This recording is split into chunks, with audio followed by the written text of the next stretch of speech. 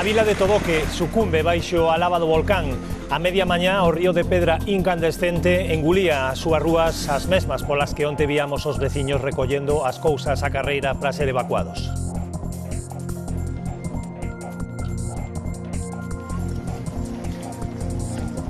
Saudos, boas tardes. O volcán entrou esta mañá nunha fase nova máis explosiva. As casas destruídas xa se contan por centos. Marcos.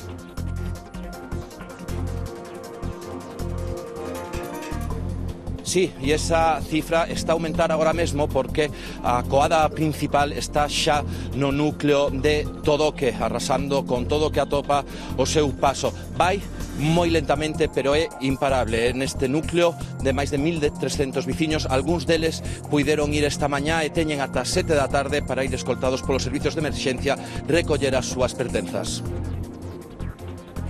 Enseguida volveremos en directo a Palma contigo, Marcos. Caralí partiu tamén un buque galego para estudar os danos ocasionados pola erupción do volcán Cumbre Vieja. Os científicos do Ramón Margalef, con base en Vigo, avaliarán os danos e estudarán a posible existencia de focos de emisións tóxicas baixo o mar. Aquí en Galicia a COVID segue evolucionando a baixa, pero hai vivos algúns pequenos gromos, por iso o Comité Clínico volve a modificar os niveis de restricción por concellos. Monforte pasará a partir do sábado o nivel baixo, pola contra, dous concellos soben o nivel medio, son o Barco de Valdeorras e Foz. Ademais, tamén se suavizan as restriccións nos eventos culturais e nos deportivos decidiu subir o nivel medio de, de restricción os concellos de Foz e o Barco de Valdeorras, cunha incidencia maior debido sobre todo aos gromos nos centros educativos que tamén son coñecidos.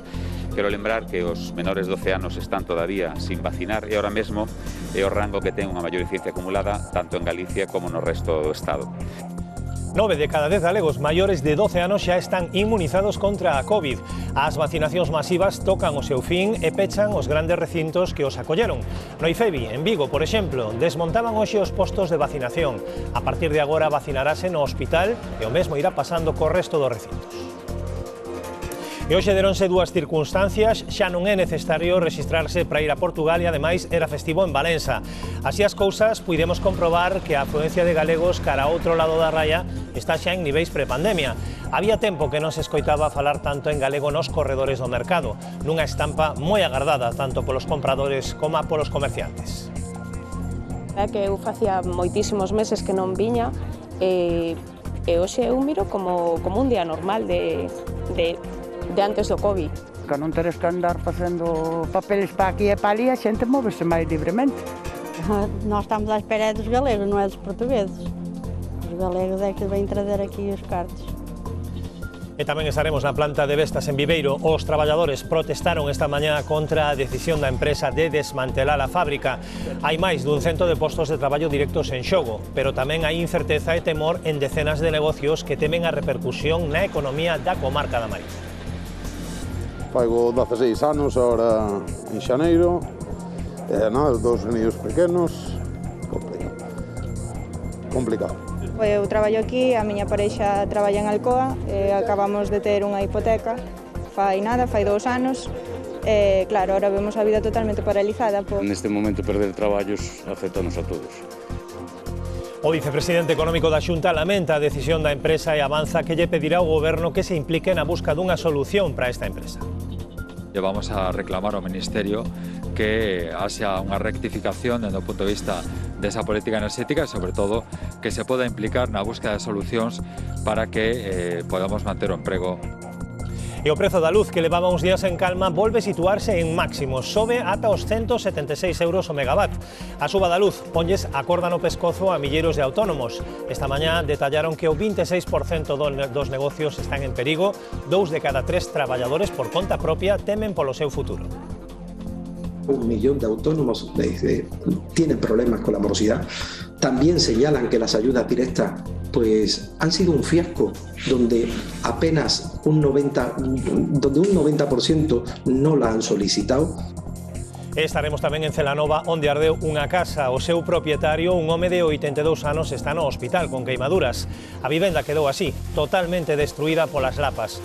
Os bombeiros aínda traballaban esta noite para refriar a zona esta mediodía. Foron os veciños da Casa Lindeira os que sacaron o ancián da casa para evitar a súa morte.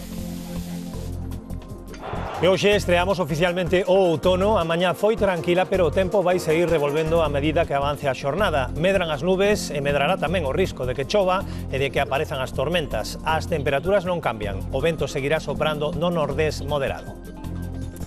Onde o outono desembocou con forza foi no Mediterráneo, van ver as imaxes impresionantes que nos chegan de Menorca e de Granada. Dalí son estas secuencias cunha tremenda tromba de auga que sorprendeu os veciños de Illora. Baixos e vivendas anegadas e coches e colectores arrastrados pola auga que caeu a un ritmo de ata 60 litros por metro cadrado cada media hora.